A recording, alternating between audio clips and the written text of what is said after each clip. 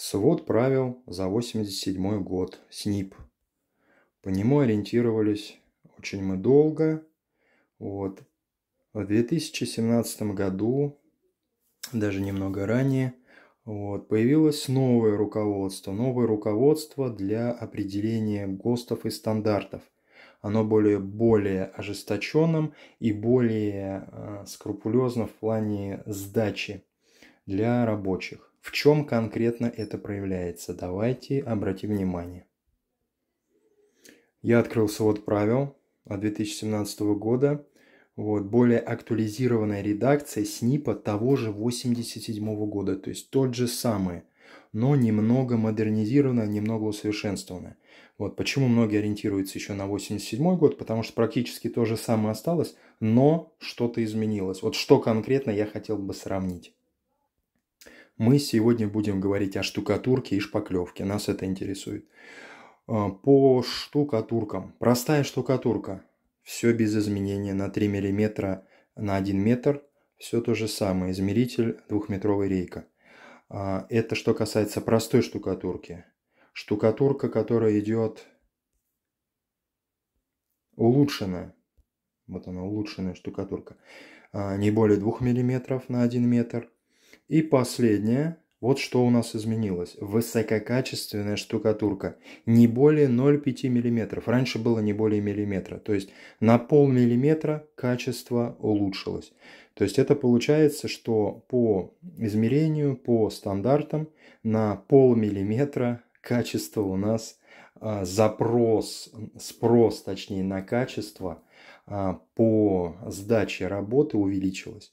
Поэтому Это о чем это говорит? Это говорит о том, что а, более стали такие, а, если мы говорим о высококачественной штукатурке, то запросы стали более, планочку более задрали, да, на, можно так сказать, в половину раза, да, то есть был 1 мм, стало полмиллиметра. Вот. Э, и еще, что еще изменилось? То есть это что касается штукатурки. По всем остальным параметрам все то же самое. Обратите внимание, мне еще непонятно другой момент. То есть это мы говорим отклонение от вертикали полмиллиметра. По горизонтали также 1 мм остался. Вот обратите внимание, видите? На 1 метр 1. А по вертикали 0,5. Почему? Непонятно. То есть, значит, больше горизонт ловим, да? Вот. Хотя написано не более 5 мм на всю высоту. То есть, такой же параметр. В том СНИПе за 87 год также все и было написано. Не более 5 мм на всю высоту. Вот. Э, поэтому и еще это относительно штукатурки, то есть качество поднялось, и относительно шпаклевки. Относительно шпаклевки хочу показать, что появились вот эти новые параметры К1, К2, К3, К4. Раньше их не было. Вот для наглядности давайте я вам открою, и вы убедитесь сами.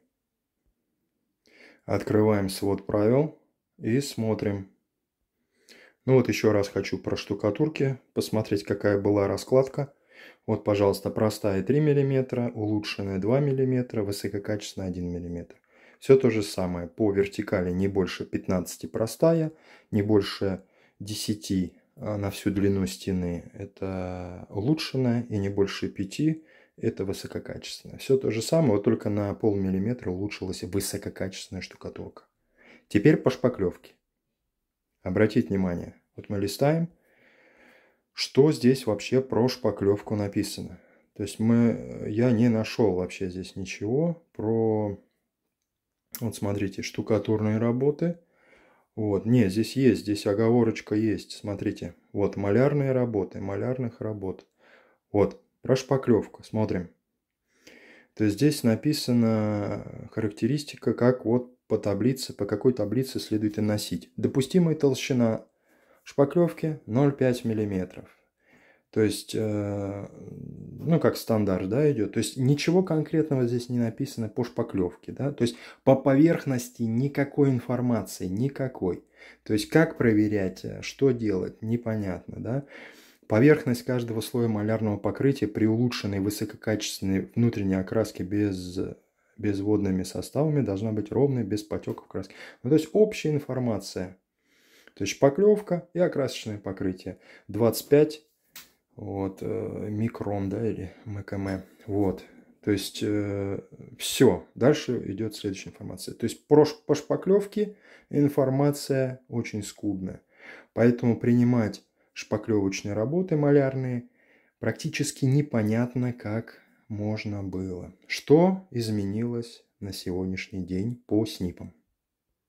Вот смотрите, мы также листаем. Я открыл уже новый снип. Вот они штукатурки наши. Листаю, листаю. Дальше идет у нас шпаклевочные работы. Да, вот идет, идет, идет, идет, идет. И качество. Оба-на. Первая позиция, которая у нас появилась, которой не было ранее. Пожалуйста. К1, К2, К3 и К4. Вот оно качество, которое у нас появилось. Вот что изменилось. То есть вот э, благодаря вот этим, то есть это все внесено у нас в СП. То есть а, раньше СНИП назывался, да, сейчас называется свод правил. Вот. Ну, в принципе, практически то же самое, только вот эта вот табличка, она теперь тоже есть в своде правил. Поэтому, если вы договариваетесь с заказчиками – на какие-то позиции, то есть по своду правил он может на что-то апеллировать, то есть какое-то качество от вас потребовать. И вы должны это качество знать, вы должны понимать, что в каком качестве, вот, а, под какое покрытие идет каждое качество. Вот смотрите, К1 это идет очень грубое, да, то есть под а, плитки, листовые материалы, то есть очень грубое покрытие, да. Второе идет под нанесение структурных красок, покрытий, также тяжелые обои. Это К2. К3 она уже идет для бумажных флизелиновых обоев, да, для а, уже матовых красок, но не глянцевых, да. То есть это вот самое распространенное покрытие К3, да. Вот, и обратите внимание, здесь идет э, методы контроля, правая графа. То есть вот по этой э, графе вас будут контролировать. Это как бы является законным. То есть, если вы договоритесь на какое качество, вот по этой графе, если вы не знаете этого, то вы можете, можно так сказать, попасть, да?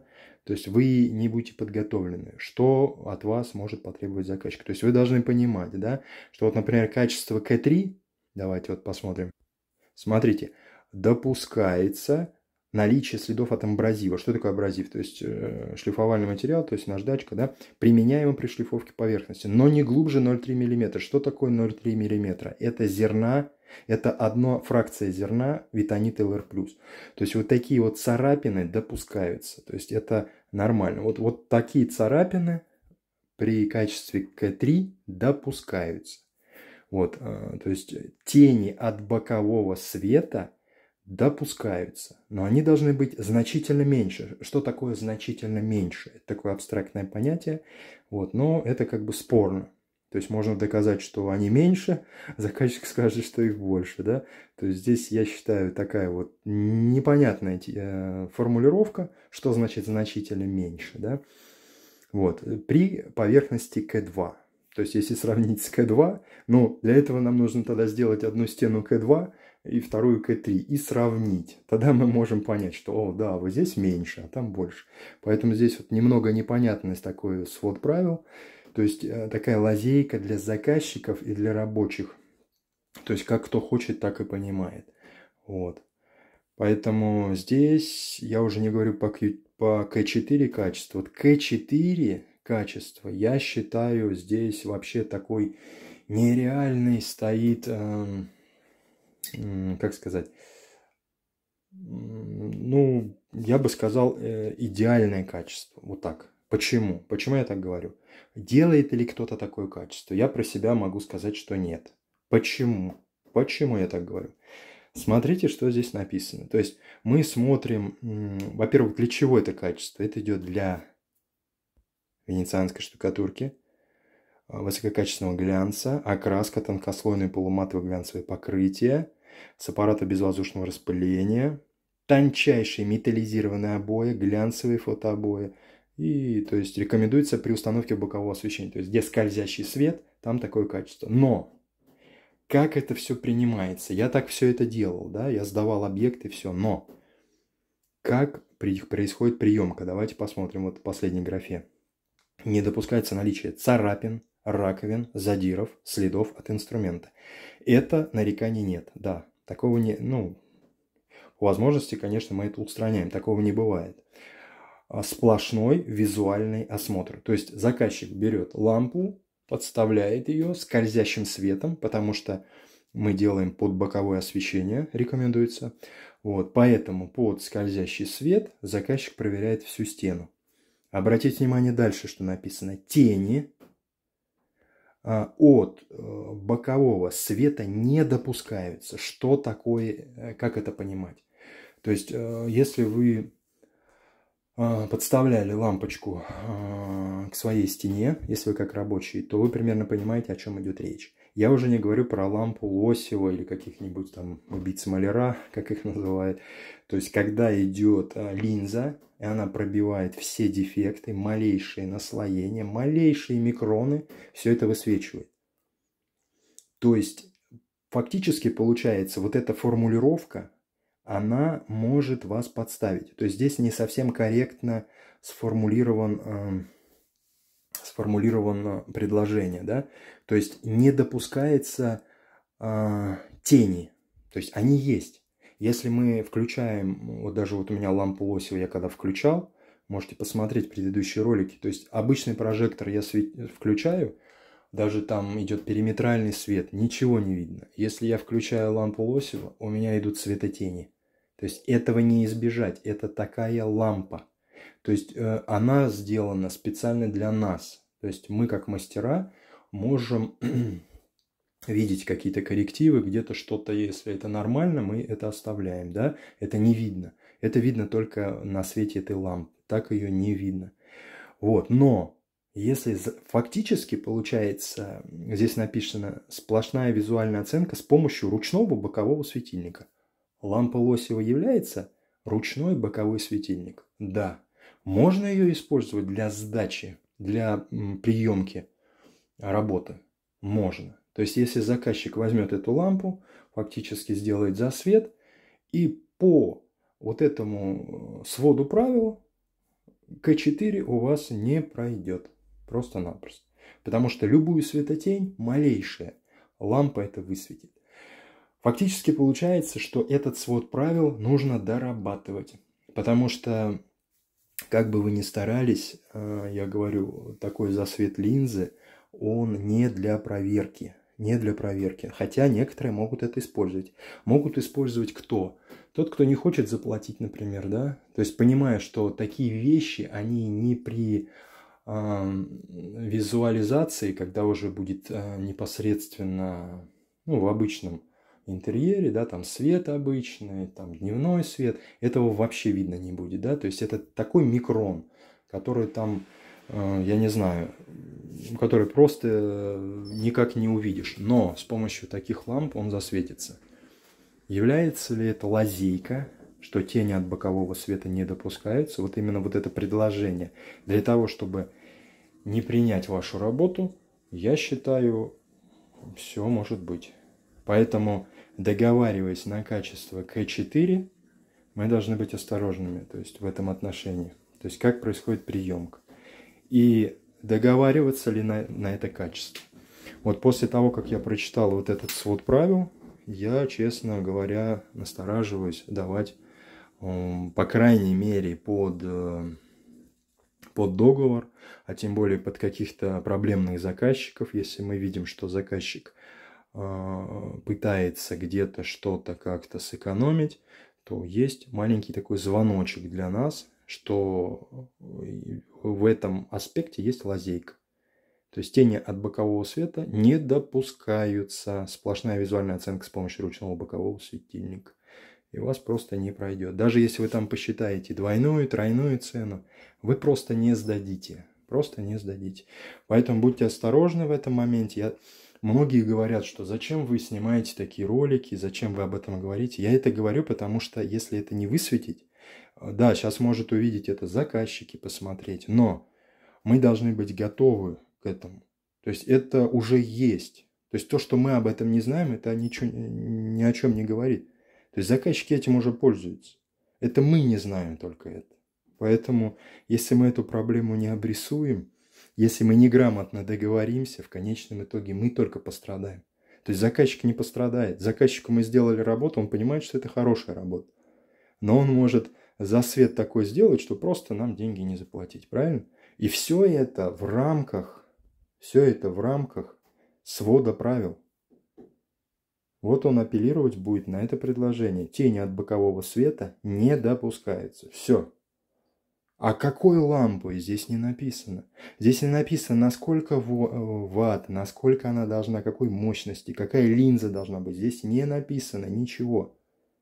Поэтому на основании этого можно любую лампу включать, если малейший боковой какой-то э, тень какая-то идет при боковом свете. Все. То есть не допускается. Поэтому договариваясь на качество К4, да, качество у нас очень сильно поднялись. Многие говорят, что раньше было намного проще, и я соглашусь с этим. На самом деле многие нюансы. Вот К3 за глаза – это самая верхушка, какие мы делаем, и этого достаточно. Ну, насчет того, что а, вот царапины 0,3, ну да, можно, конечно. То есть 0,3 идут царапины, когда мы шпаклюем грубыми шпаклевками финишными. Если мы шпаклюем а, такими, как а, уже шитрок, семин, у них 0,03, 0,02 миллиметра.